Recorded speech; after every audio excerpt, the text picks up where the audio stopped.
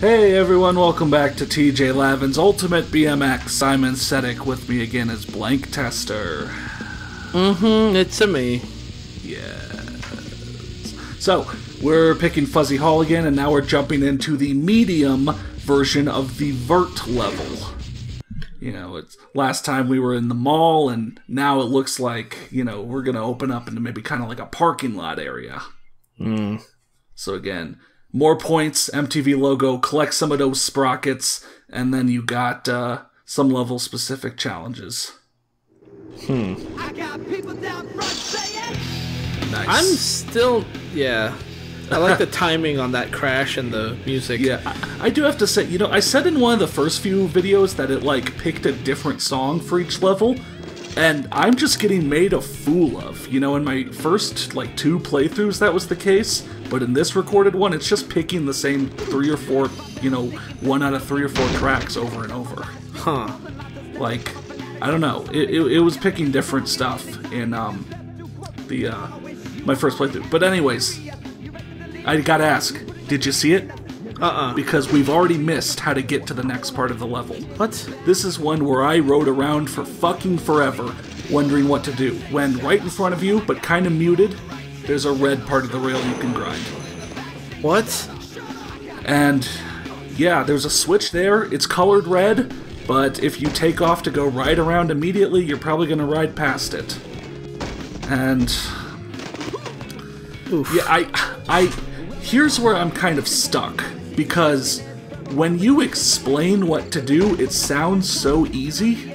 You know, when you start the level, grind the rail to your right and hit the switch.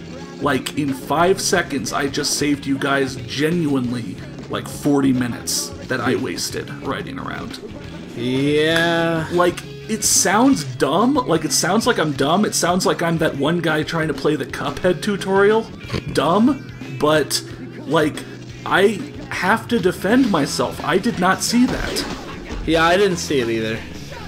And I think it's so. And I wouldn't have expected it's it either.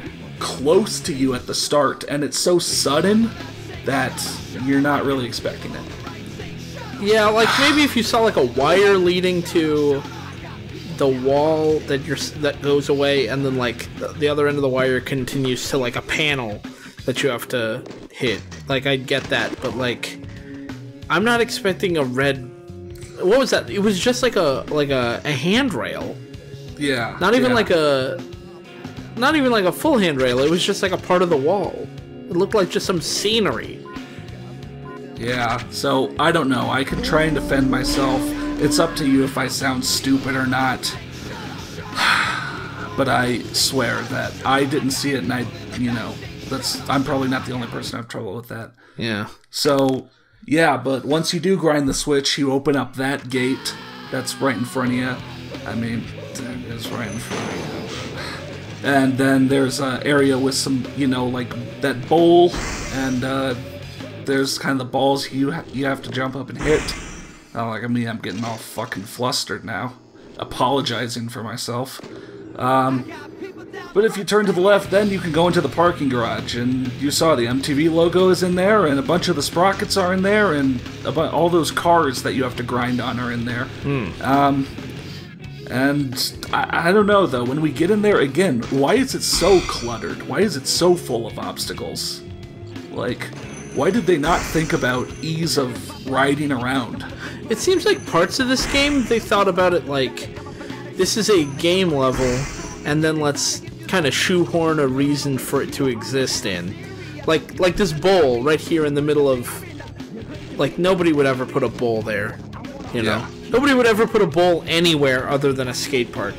But like some other parts of the level seem like they were trying to just make it a realistic like this looks like it could be a real Yeah, Parking there's lot. like there's like handrails in your way that Yeah. stop you from just riding straight.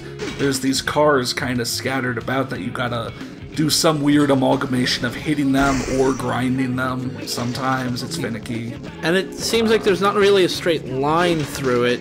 Yeah, There's like just a shit in the way, right fucking there. and then there's a thing. yeah. Like interact with this. There. There, So you little finally weird. did it. That was a weird noise. Yeah, yeah. I mean, Cool. I like how they have one smash sound effect that they change the pitch to. Yeah. Like one is a little deeper than the other. Well, I hear Um, the engine could only handle Yeah, yeah. Yeah. You know, the one. versions from one sound effect.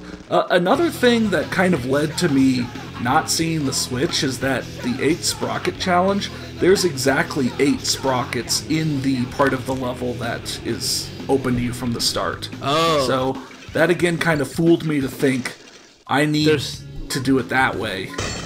But, I mean, of course, in the game's defense, there's no cars, there's no, you know, none of those gold globes you need to smash in hmm. the main part of the level. So there is always something telling you you need to find the next part of the area. Right. It's just the actual method. I don't know. But I mean, it's like, not a. it's this- weird. This is The more I think about it, the weirder it gets because it's like if they're gonna make it really obvious, like by putting the way in right at the beginning, Yeah. it's not a secret. But at the same time, they did obscure it a little bit. Yeah, I, I don't know. know. I think The they tried to make it easier by putting you closer to it, but that actually makes it harder. Yeah, the the developers thought it was obvious. Yeah. That's all we could say. This is such a perfect example, and the next level has another perfect example. Uh, so join us next time when we go to the medium version of the dirt environment.